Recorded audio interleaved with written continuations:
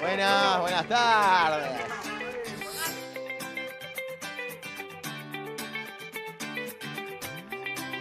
Felicitaciones, chicos. Muchas Felicitaciones. gracias, muchísimas gracias. Qué Gracias. lin- lindo momento, ¿no? Sí, sí, es hermoso. Aparte, este, bueno, primero que teníamos muchas ganas de festejar el amor, bueno, por eso nos casamos, pero hicimos algo muy íntimo, en familia, como corresponde. Bueno, nada, todo, todo muy lindo. Iba a decir algo. No, tengo merengue en toda la, en toda la ropa. Tengo merengue. No, y pensaba este momento porque viste que el pollo por ahí decía, bueno, mirá, se puso de novio, de golpe se enamoró Mirá, y se casó. Eso que Así. estás diciendo fue algo que nombraron bastante en la ceremonia.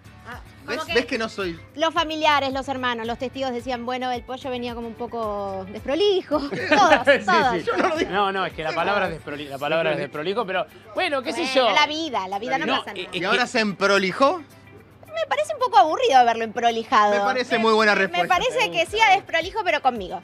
Claramente estoy en mi mejor momento gracias a ella y bueno, por eso nos casamos.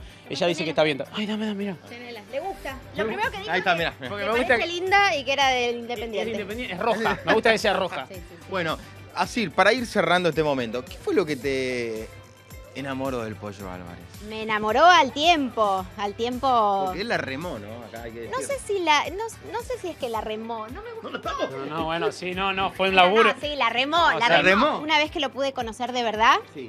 él es muy auténtico, como lo ven, pero hay un pollo que conocemos unos pocos. Ah, Y bien. ahí me empecé a enamorar. A mí lo que me pasó con, con Tefi puntualmente, más allá de que estoy enamorado, me parece todo lo que está bien.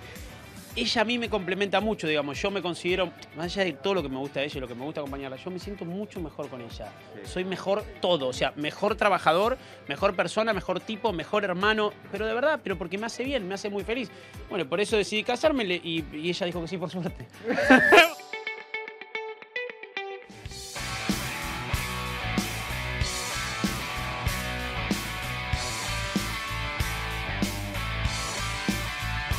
¿Te gustaría ser papá este año? ¿Tenés ganas de ser papá? Después, yo sé que es muy pronto, recién se casan, pero digo, che, me está picando el Y- bichito las ganas. A ver, eh, obviamente este año no va a suceder porque decidimos dar el paso del casamiento y porque encima estamos con una mudanza a cuestas.